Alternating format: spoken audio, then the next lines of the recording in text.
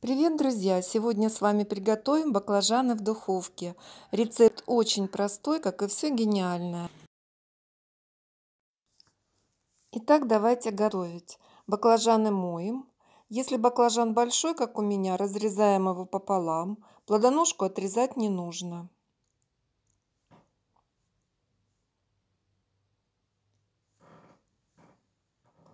И теперь каждую половинку разрезаем от плодоножки на слайсы.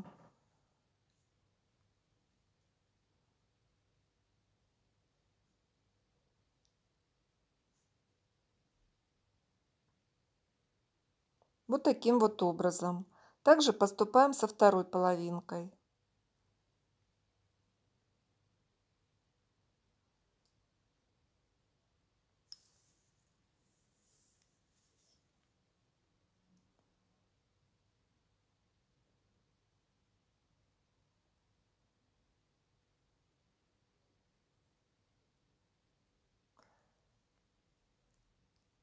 После того, как разрезали, обильно пересыпаем солью каждый слайс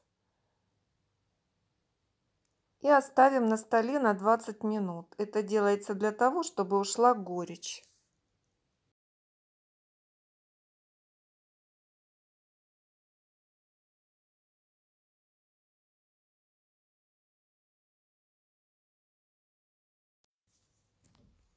Прошло 20 минут, наши слайсы подсолились.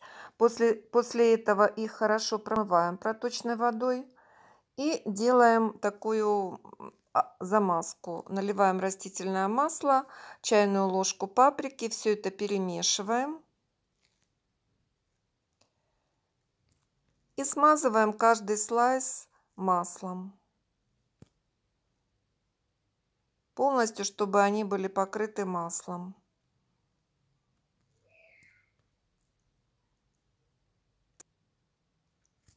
Затем я переложила форму и вот таким вот образом, подгибая каждый слайс, делаем а, такой вот как в виде цветочка.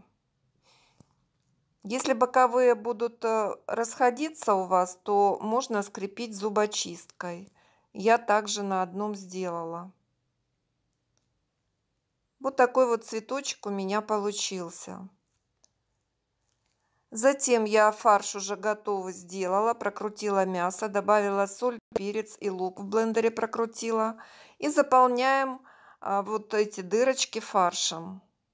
Полностью у меня получилось два цветочка, и я заполняю фаршем.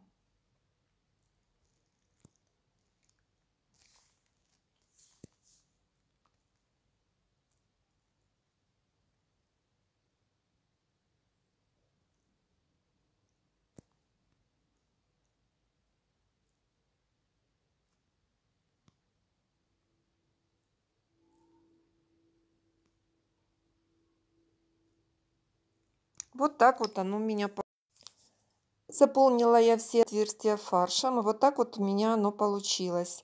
Сверху я добавляю измельченный чеснок и заливаю помидорной смесью. Три помидора я прокрутила в блендере.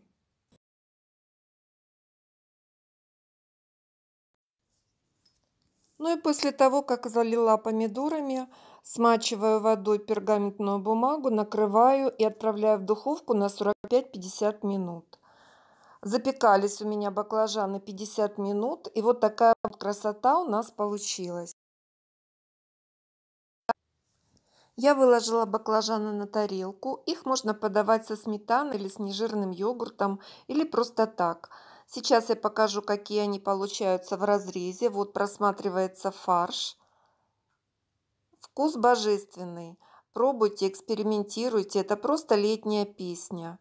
А я вам, как всегда, желаю приятного аппетита и всем пока, до скорых встреч!